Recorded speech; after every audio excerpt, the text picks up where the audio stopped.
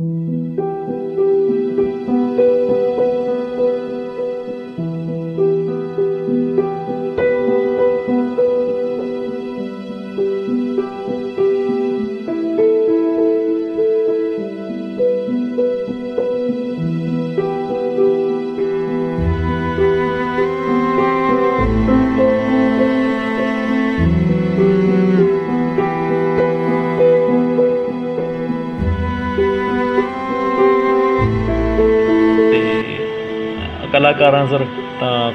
ਕਰਨਾ ਪਏਗਾ, ਜੇ ਸਾਨੂੰ ਕੋਈ ਭਿਖਾਰੀ ਬਣਾ ਦੇ ਤਾਂ ਭਿਖਾਰੀ ਵੀ ਬਣਨਾ ਪਊਗਾ। ਮੈਨੂੰ ਖੁਸ਼ੀ ਹੈ ਕਿ ਮੈਂ ਇਸ ਇਲਾਕੇ ਦਾ ਜੰਪਲ ਹਾਂ। ਇੱਕ ਮੈਨੂੰ ਪਛੜਾ ਇਲਾਕਾ ਨਹੀਂ ਕਹਿ ਸਕਦਾ। ਇੱਥੇ ਲੋਕ ਬਹੁਤ ਸ਼ਾਂਤ ਨੇ, ਸੱਚੇ ਨੇ। ਸਭ ਤੋਂ ਵੱਡੀ ਗੱਲ ਹੁੰਦੀ ਡਰ। ਇੱਥੇ ਲੋਕ ਮਾੜੇ ਕੰਮ ਕਰਨ ਤੋਂ ਡਰਦੇ ਨੇ। ਸਭ ਤੋਂ ਵੱਡੀ ਗੱਲ ਹੈ, ਇਹਨੂੰ ਮੈਂ ਪਛੜਾ ਇਲਾਕਾ ਨਹੀਂ ਕਹੂੰਗਾ। ਬਹੁਤ ਹੀ ਪੀਸਫੁਲ ਏਰੀਆ ਇਮਾਨਦਾਰ ਏਰੀਆ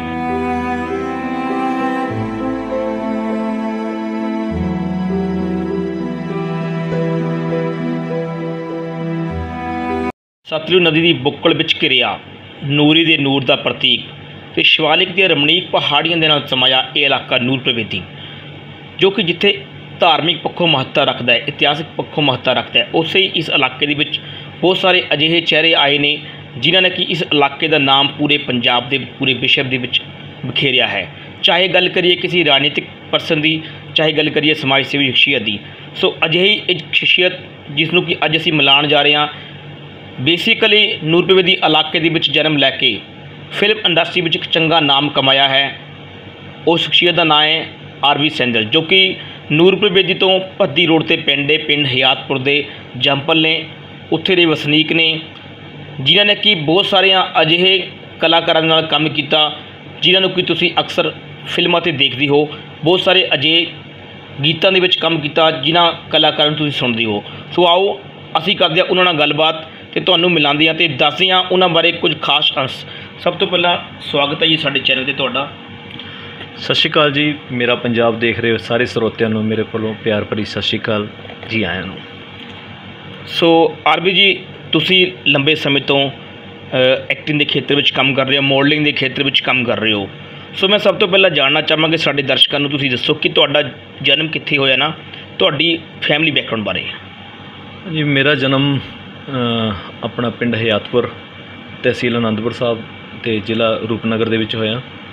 ਅਤੇ ਮੇਰੇ ਫਾਦਰ ਸਾਹਿਬ ਜੌਬ ਕਰਦੇ ਸੀ ਬੀਬੀਐਮਬੀ ਦੇ ਵਿੱਚ, ਸਰਕਾਰੀ ਮਹਿਕਮੇ ਦੇ ਵਿੱਚ ਜੌਬ ਕਰਦੇ ਸੀ। ਤੇ ਸਾਡਾ, ਮੇਰਾ ਜਿਹੜਾ ਕਿ ਰਹਿਣ ਸਹਿਣ, ਉਹਨਾਂ ਦੇ ਨਾਲ ਜਿੱਥੇ ਉਹਨੇ ਡਿਊਟੀ ਹੁੰਦੀ ਸੀ, ਜਿੱਥੇ ਉਹ ਜਿਹੜੇ ਡਿਸਟ੍ਰਿਕਟ 'ਚ ਜਾਂਦੇ ਸੀ, ਉਹਨਾਂ ਨਾਲ ਹੁੰਦੀ, ਉਹਨਾਂ ਉਹਨਾਂ ਨਾਲ ਹੀ ਚਲੇ ਜਾਂਦੇ ਸੀ। ਸਾ- ਸਾਡੀ ਫੈਮਿਲੀ ਉਹਨਾਂ ਨਾਲ ਚਲੀ ਜਾਂਦੀ ਸੀ। ਤੇ ਮੇਰਾ ਜਨਮ ਜ਼ਰੂਰ ਇੱਥੇ ਹੋਇਆ, ਪਰ ਜਿਹੜਾ ਕਿ ਮੇਰਾ ਬਾਕੀ ਬਚਪਨ ਤੋਂ ਲੈ ਕੇ ਜਵਾਨੀ ਤੱਕ ਜੋ ਮੈਂ ਆਪਣੀ ਮੁੱਢਲੀ ਸਿੱਖਿਆ ਪ੍ਰਾਪਤ ਕੀਤੀ, ਉਹ ਸੰਗਰੂਰ ਜ਼ਿਲ੍ਹਾ ਦੇ ਵਿੱਚ ਕੀਤੀ ਹੈ ਅਤੇ ਉੱਥੇ ਮੈਂ ਰਾਜ ਸੀਨੀਅਰ ਸੈਕੰਡਰੀ ਸਕੂਲ ਦੇ ਵਿੱਚ ਪੜ੍ਹਿਆ ਪਲੱਸ ਟੂ ਕੀਤੀ ਹੈ ਅਤੇ ਉਸ ਤੋਂ ਬਾਅਦ ਸੋ ਜੋ ਤੁਸੀਂ ਐਕਟਿੰਗ ਦਾ ਖੇਤਰ ਹੁਣ ਚੁਣਿਆ ਹੈ ਤੇ ਇਸ ਖੇਤਰ ਦੀ ਸ਼ੁਰੂਆਤ ਤੁਹਾਡੀ ਜ਼ਿੰਦਗੀ ਵਿੱਚ ਕਦੋਂ ਹੋਈ ਤੇ ਕਿਹੜਾ ਮੌਕਾ ਸੀ ਜਿਸ ਨੇ ਤੁਹਾਨੂੰ ਇਹ ਪ੍ਰੇਰਿਤ ਕੀਤਾ ਕਿ ਤੁਸੀਂ ਇਸ ਐਕਟਿੰਗ ਦਾ ਖੇਤਰ ਹੀ ਚੁਣਨਾ ਹੈ? ਪ੍ਰੇਰਿਤ ਇਹ ਸੀ ਕਿ ਜਦੋਂ ਮੈਂ ਸਕੂਲ ਦੇ ਵਿੱਚ ਪੜ੍ਹਦਾ ਸੀ ਤਾਂ ਉੱਥੇ ਅਸੀਂ ਨਾਟਕ ਖੇਡਦੇ ਸੀ। ਮੈਂ ਐਕਚੁਅਲੀ ਥੋੜਾ ਜਿਹਾ ਕਹਿੰਦੇ ਸ਼ਰਾਰਤੀ ਸੀ ਮੈਂ ਸਕੂਲ ਦੇ ਵਿੱਚ।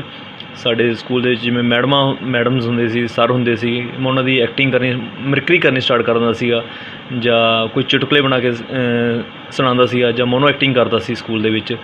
ਇੱਕ ਮੈਂ ਪਲੇ ਕੀਤਾ ਸੀਗਾ, ਮੇਰਾ ਬਹੁਤ ਫੇਵਰੇਟ ਹੈ। ਬੇਵਸੀ ਇਕਾਂਗੀ ਹੁੰਦੀ ਸੀ। 10ਵੀਂ ਦੇ ਵਿੱਚ ਮੈਂ ਪੜ੍ਹਦਾ ਸੀ ਤਾਂ ਬੇਵਸੀ ਇਕਾਂਗੀ ਆਉਂਦੀ ਸੀ। ਅਤੇ ਉਹਦੇ 'ਚ ਅਸੀਂ ਨਾਟਕ ਖੇਲੇ ਅਤੇ ਨਾਟਕ ਦੇ ਵਿੱਚ ਅਸੀਂ ਮੈਂ, ਮੇਰਾ ਕਿਰਦਾਰ ਲੋਕਾਂ ਨੂੰ ਬਹੁਤ ਪਸੰਦ ਕੀਤਾ ਸੀ ਅਤੇ ਬਹੁਤ ਹੀ ਯਾਨੀ ਕਿ ਉਹ ਆਪਣਾ ਜ਼ਿਲ੍ਹੇ, ਡਿਸਟ੍ਰਿਕਟ ਵਾਈਜ਼ ਦੇ ਵਿੱਚ ਪਹਿਲੇ ਨੰਬਰ ਤੇ ਸਾਡਾ ਉਹ ਨਾਟਕ ਆਇਆ ਸੀ। ਇੱਕ ਕੀੜਾ ਸੀ ਕਿ ਅੰਦਰੋਂ ਵੀ ਕੁਝ ਬਣਾਂਗੇ, ਪਰ ਇੱਕ ਫੈਮਿਲੀ ਪ੍ਰੋਬਲਮਸ ਕਰਕੇ ਮੇਰੇ ਫਾਦਰ ਸਾਹਿਬ ਜੌਬ ਕਰਦੇ ਸੀ ਸਰਕਾਰੀ ਬਟ ਉਹ ਨਾਲ ਬਿਮਾਰ ਰਹਿੰਦੇ ਸੀਗੇ। ਉਹਨਾਂ ਦਿਨਾਂ ਦੇ ਵਿੱਚ ਕੀ ਹੈ, ਸਾਡਾ ਆਪਣਾ ਇੱਕ ਮਿਡਲ ਕਲਾਸ ਫੈਮਿਲੀ ਦੇ ਵਿੱਚ ਜਿਹੜਾ ਕਹਿੰਦੇ ਵੀ ਖਰਚੇ ਕਰਨੇ, ਬਸ ਜਿੰਨੀ ਕੁ ਤਨਖਾਹ ਆਣੀ ਉਸ ਹਿਸਾਬ ਨਾਲ ਖਰਚੇ ਕਰ ਲੈਂਦੇ ਸੀਗੇ ਤੇ ਉਹਨਾਂ ਦੀ ਮੈਡੀਸਿਨ ਚੱਲਦੀ ਸੀਗੀ ਤੇ ਚੱਲ ਰਿਹਾ ਸੀਗਾ। ਪਲੱਸ 2 ਕਰਨ ਤੋਂ ਬਾਅਦ ਦੇਖੋ, ਮੈਂ ਅੱਗੇ ਪੜ੍ਹਨਾ ਚਾਹੁੰਦਾ ਸੀਗਾ, ਪਰ ਕਹਿੰਦੇ ਘਰ ਦੀਆਂ ਪ੍ਰੋਬਲਮਾਂ ਕਰਕੇ ਅੱਗੇ ਅਸੀਂ ਨਹੀਂ ਪੜ੍ਹ ਸਕੇ। ਮੈਂ ਤੇ ਮੇਰੇ ਬ੍ਰਦਰ ਮੇਰਾ ਭਰਾ, ਅਸੀਂ ਦੋਨੇ ਇਕੱਠੇ ਇੱਕ ਕਲਾਸ ਹੁੰਦੇ ਸੀ ਤੇ ਅਸੀਂ ਕਾਲਜ ਜਾਣ ਨੂੰ ਫਿਰਦੇ ਸੀ, ਅਸੀਂ ਕਾਲਜ ਜਾਣਾ। ਜਿਵੇਂ ਰਿਜ਼ਲਟ ਆਇਆ ਪਾਸ ਹੋਏ, ਸਾਨੂੰ ਖੁਸ਼ੀ ਸੀ ਕਿ ਅਸੀਂ ਕਾਲਜ ਜਾਵਾਂਗੇ।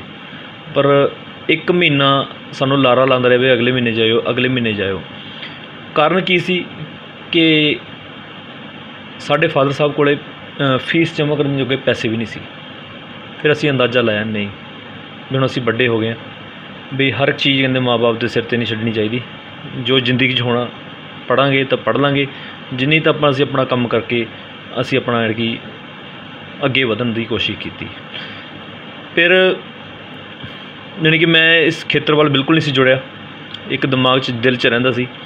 ਪਰ ਮੈਂ ਇੱਕ ਜ਼ਰੂਰ ਆਪਣੇ ਦਿਲ 'ਚ ਕਰੀ ਸੀਗੀ ਕਿ ਜਦੋਂ ਮੈਂ ਵੱਡਾ ਕੁਝ ਬਣ ਜਾਵਾਂਗਾ ਕੁਝ ਆਪਣੇ ਲੈਵਲ ਦਾ ਕੁਝ ਕਰ ਲਾਂਗਾ, ਉਸ ਤੋਂ ਬਾਅਦ ਮੈਂ ਬੇਸ ਲਾਈਨ ਬਾਰੇ ਟਰਾਈ ਕਰੂੰਗਾ ਤੇ ਮੈਂ ਵੀ ਹੀਰੋ ਬਣੂੰਗਾ।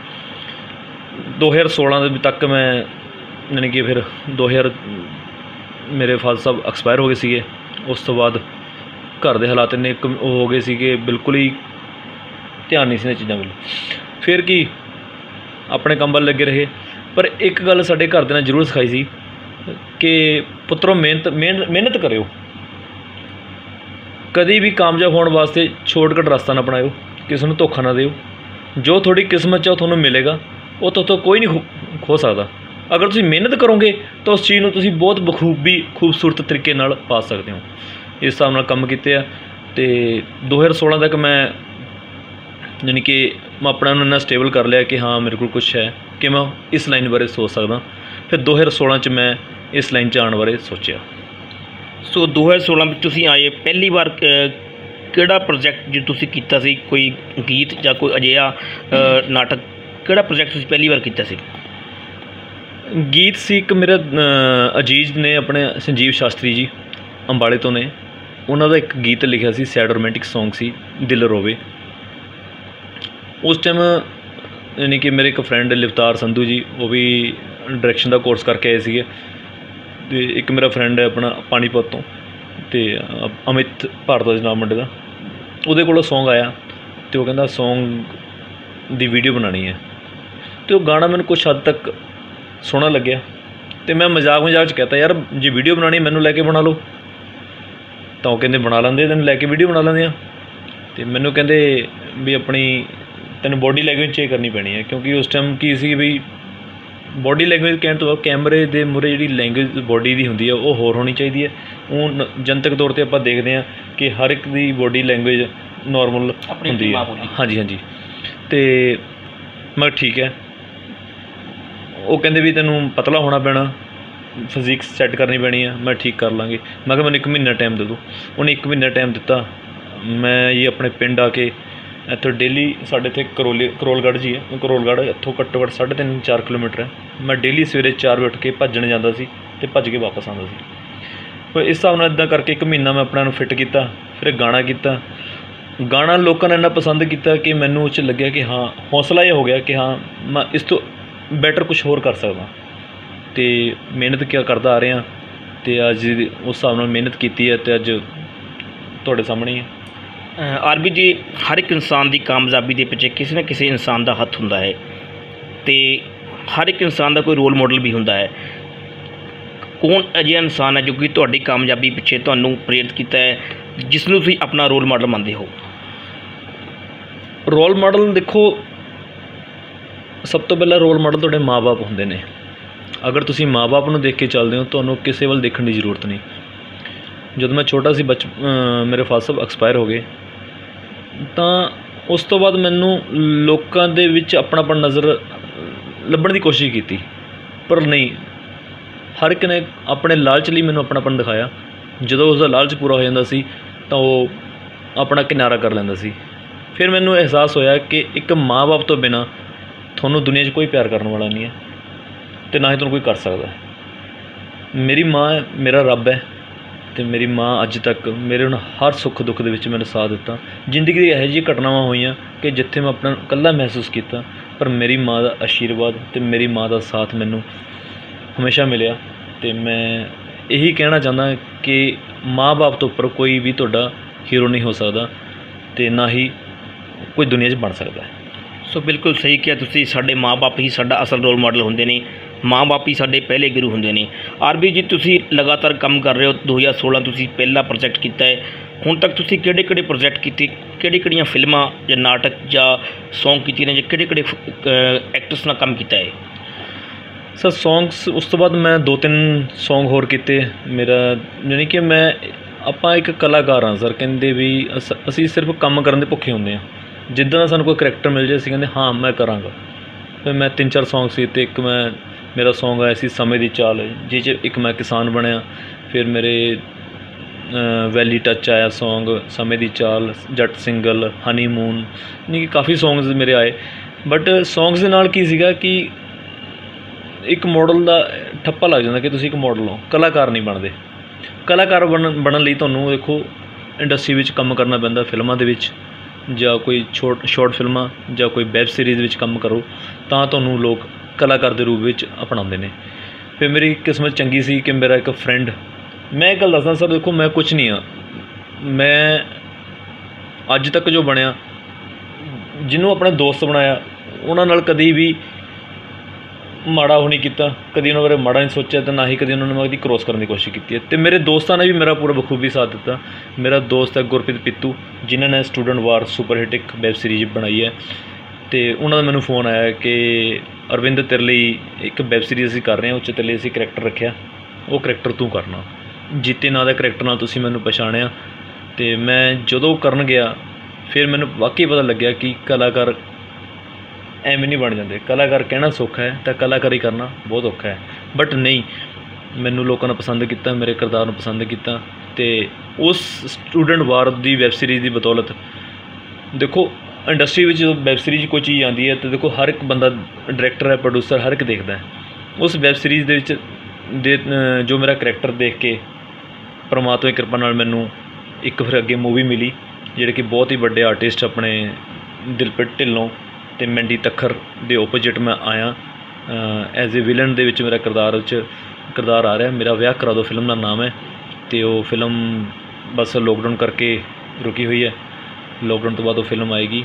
ਫਿਰ ਉਸ ਤੋਂ ਬਾਅਦ ਮੇਰੀ ਇੱਕ ਮੂਵੀ ਆ ਰਹੀ ਹੈ, ਆਪੇ ਪੈਣ ਸਿਆਪੇ ਕਮੇਡੀ ਮੂਵੀ ਉਹਦੇ 'ਚ ਵੀ ਮੈਂ ਵਿਲਨ ਦਾ ਕਰੈਕਟਰ ਕਰ ਰਿਹਾ। ਤੇ ਮੁੱਖ ਕਰੈਕਟਰ ਯਾਨੀ ਕਿ ਮੇਰੇ ਇਹਨਾਂ ਫਿਲਮਾਂ ਦੇ ਵਿੱਚ। ਤੇ ਤੀਸ- ਤੀਸਰੀ ਫਿਲਮ ਮੇਰੀ ਹੁਣ ਸ਼ੂਟ ਚੱਲ ਰਿਹਾ ਸੀ ਜੱਟੀ 15 ਮਰਬਿਆਂ ਵਾਲੀ ਜਿਸ 'ਚ ਉਹ 'ਚ ਮੈਂ ਸੈਕੰਡ ਹੀਰੋ ਦੇ ਤੌਰ ਤੇ ਤੁਹਾਡੇ ਸਾਹਮਣੇ ਆਵਾਂਗਾ। ਤੇ ਉਹ ਫਿਲਮ ਦੇ ਸ਼ੂਟ ਚੱਲ ਰਿਹਾ, ਬਸ ਲੋਕਡਾਊਨ ਕਰਕੇ ਅੱਗੇ ਸ਼ੂਟਿੰਗ ਬੰਦ ਹੋਈ ਹੈ। ਤੇ ਉਹਦੇ ਵਿੱਚ ਮੇਰਾ ਬਹੁਤ ਸੋਹਣਾ ਕਿਰਦਾਰ ਹੈ।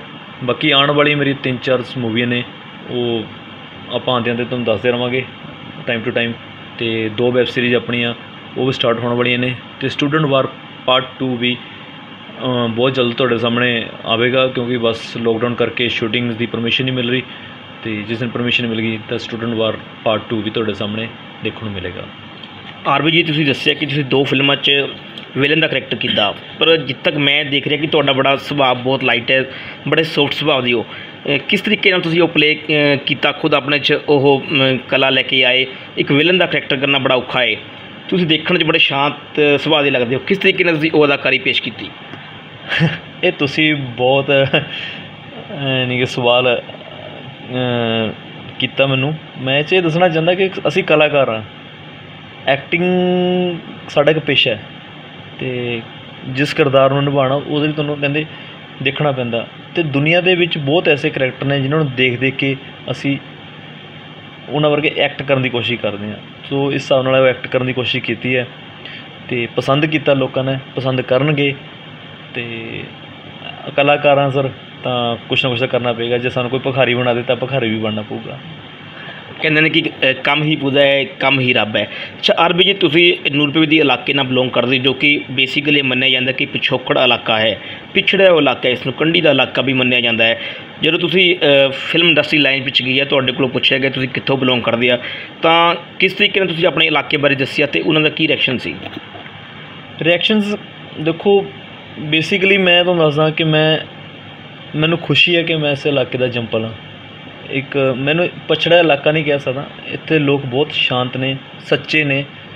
ਸਭ ਤੋਂ ਵੱਡੀ ਗੱਲ ਹੁੰਦੀ ਡਰ। ਇੱਥੇ ਲੋਕ ਮਾੜੇ ਕੰਮ ਕਰਨ ਤੋਂ ਡਰਦੇ ਨੇ। ਸਭ ਤੋਂ ਵੱਡੀ ਗੱਲ ਹੈ, ਇਹਨੂੰ ਮੈਂ ਪਛੜਿਆ ਇਲਾਕਾ ਨਹੀਂ ਕਹੂੰਗਾ। ਬਹੁਤ ਹੀ ਪੀਸਫੁਲ ਏਰੀਆ ਇਮਾਨਦਾਰ ਏਰੀਆ ਠੀਕ ਹੈ ਕੁਝ ਅਨਸਰ ਐਸੇ ਜ਼ਿੰਦਗੀ ਦੇ ਵਿੱਚ ਹੋ ਜਾਂਦੇ ਨੇ ਕਿ ਬੰਦੇ ਨੂੰ ਗਲਤ ਧਾਰਨਾ ਬੰਦੇ ਦੇ ਮਨ ਵਿੱਚ ਆ ਜਾਂਦੀ ਹੈ। ਬਟ ਜਿਸ ਹਿਸਾਬ ਨਾਲ ਇਹ ਆਪਣਾ ਇਲਾਕਾ ਸ਼ਾਂਤ ਹੈ, ਮੈਨੂੰ ਨਹੀਂ ਲੱਗਦਾ ਕਿ ਆਪਾਂ ਨੂੰ ਇਹ ਇਹ ਇਲਾਕਾ ਹੋਰ ਥਾਂ ਦੇਖਣ ਨੂੰ ਮਿਲਦਾ। ਆਰਬੀ ਜੀ ਜ਼ਿੰਦਗੀ ਦੇ ਹਰ ਮੁਕਾਮ ਤੇ ਇਨਸਾਨ ਨੂੰ ਬੜੀਆਂ ਮੁਸ਼ਕਲਾਂ ਦਾ ਸਾਹਮਣਾ ਕਰਨਾ ਪੈਂਦਾ ਹੈ। ਇਸ ਇੰਡਸਟਰੀ ਲਾਈਨ 'ਚ ਅਕਸਰ ਅਸੀਂ ਖਬਰਾਂ ਸੁਣਦੇ ਹਾਂ ਕਿ ਮੇਲ ਤੇ ਫੀਮੇਲ ਆਰਟਿਸਟ ਵੱਲੋਂ ਗੱਲ ਉਭਾਰ ਕੇ ਕਹੀ ਗਈ ਹੈ ਕਿ ਉਹਨਾਂ ਦਾ ਇੰਡਸਟਰੀ ਵਿੱਚ ਸ਼ੋਸ਼ਣ ਕੀਤਾ ਗਿਆ, ਉਸ ਤੋਂ ਬਾਅਦ ਉਹ ਅੱਗੇ ਵਧਿਆ ਕਿਆ ਕੋਈ ਐਸੀ ਘਟਨਾ ਵੀ ਤੁਹਾਡੇ ਨਾਲ ਹੋਈ ਹੈ ਜਿਹੜੇ ਕਿ ਤੁਹਾਨੂੰ ਅੱਜ ਤੱਕ ਯਾਦ ਹੈ ਕਿ ਤੁਹਾਨੂੰ ਉੱਪਰ ਉੱਠਣ ਲਈ ਇਸ ਮੁਕਾਮ 'ਚੋਂ, ਇਸ ਸਮੱਸਿਆ ਤੋਂ ਲੰਘਣਾ ਪਿਆ ਹੋਵੇ? ਸਰ, ਸ਼ੋਸ਼ਣ ਨਹੀਂ ਮੈਂ ਕਹਿ ਸਕਦਾ ਵੀ ਆਪਣੇ ਇੱਥੇ ਇਸ ਇੰਡਸਟਰੀ ਵਿੱਚ ਸ਼ੋਸ਼ਣ ਹੁੰਦਾ। ਇਹ ਗੱਲ ਹੈ ਕਿ ਸ਼ੋਸ਼ਣ ਤੁਹਾਡਾ ਨਹੀਂ ਹੁੰਦਾ, ਤੁਹਾਡੀ ਕਲਾਕਾਰੀ ਦਾ ਹੁੰਦਾ। ਮੈਨੂੰ ਬਹੁਤ ਸਿੰਗਰ ਮਿਲੇ, ਬਹੁਤ ਡਾਇਰੈਕਟਰ ਮਿਲੇ। ਜਾਂ ਤਾਂ ਉਹ ਕਹਿੰਦੇ ਸਾਡੇ ਨਾਲ ਫ੍ਰੀ ਕੰਮ ਕਰ ਲੈ। ਠੀਕ ਹੈ, ਜਾਂ ਪੈਸੇ ਦੇ ਕੇ ਕੰਮ ਕਰ ਲੈ। ਤਾਂ ਉੱਥੇ ਸ਼ੋਸ਼ਣ ਤੁਹਾਡਾ ਨਹੀਂ ਹੁੰਦਾ, ਤੁਹਾਡੀ ਕਲਾਕਾਰੀ ਦਾ ਹੁੰਦਾ ਤੇ ਮੈਂ ਜਿੱਥੇ ਫ੍ਰੀ ਦਾ ਕੰਮ ਹੈ, ਮੈਂ ਕੰਮ ਨਹੀਂ ਕਰਦਾ। ਜੇ ਕੋਈ ਪੈਸੇ ਦੇ ਕੇ ਕੰਮ, ਕਹਿੰਦਾ ਪੈਸੇ ਦੇ ਕੇ ਕੰਮ ਕਰ ਲੈ, ਮੈਂ ਉੱਥੇ ਵੀ ਕੰਮ ਨਹੀਂ ਕੀਤਾ। ਮੈਂ ਆਰਟਿਸਟ ਹਾਂ, ਮੈਂ ਆਪਣੀ ਕਲਾ ਵੇਚਣੀ ਹੈ, ਤੇ ਮੈਨੂੰ ਉਹਦਾ ਮੁੱਲ ਮਿਲਣਾ ਚਾਹੀਦਾ, ਨਾ ਕਿ ਮੈਂ ਮੁੱਲ ਦਵਾਂ।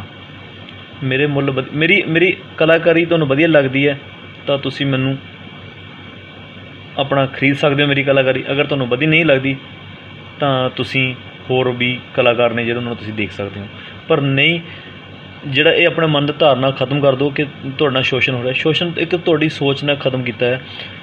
ਠੀਕ ਹੈ, ਇੰਡਸਟਰੀ ਵਿੱਚ ਬਥੇਰੇ ਕਾਸਟਿੰਗ ਡਾਇਰੈਕਟਰ ਐਸੇ ਘੁੰਮਦੇ ਨੇ ਜਿਹੜੇ ਕਿ ਤੁਹਾਨੂੰ ਮਿਸਯੂਜ਼ ਕਰਦੇ ਨੇ। ਤੁਹਾਡੇ ਨਾਲ ਇਹ ਚੀਜ਼ਾਂ ਬਾਰੇ ਤੁਹਾਨੂੰ ਉਹ ਕਰਦੇ ਨੇ ਤੁਹਾਡਾ ਧਿਆਨ ਪਾਉਂਦੇ ਨੇ। ਪਰ ਮੈਂ ਜਿੰਨੇ ਵੀ ਆਰਟਿਸਟ ਜਿਹੜੇ ਕਿ ਸਟਰਗਲ ਕਰ ਰਹੇ ਨੇ, ਮੈਂ ਉਹਨਾਂ ਨੂੰ ਕਹੂੰਗਾ ਕਿ ਤੁਸੀਂ ਆਪਣੀ ਸਿਰਫ ਕਲਾ ਵੱਲ ਧਿਆਨ ਦਿਓ। ਅੱਜ ਨਹੀਂ ਕੱਲ ਨਹੀਂ, ਪਰਸੋਂ ਨੂੰ ਨਹੀਂ। ਕਿਤੇ ਨਾ ਕਿਤੇ ਜਾ ਕੇ ਤੁਹਾਡਾ ਮੁੱਲ ਐਸਾ ਜ਼ਰੂਰ ਪਊਗਾ ਕਿ ਤੁਸੀਂ ਆਉਣ ਵਾਲੇ ਕਲਾਕਾਰਾਂ ਦੀ ਲਿਸਟ ਵਿੱਚ ਤੁਹਾਡਾ ਨਾਂ ਹੋਊਗਾ। ਤੇ ਸਾਨੂੰ ਕੁਝ ਲੋਕ ਸਟਾਰ ਕਹਿੰਦੇ ਆ ਹੀਰੋ ਕਹਿੰਦੇ ਆ।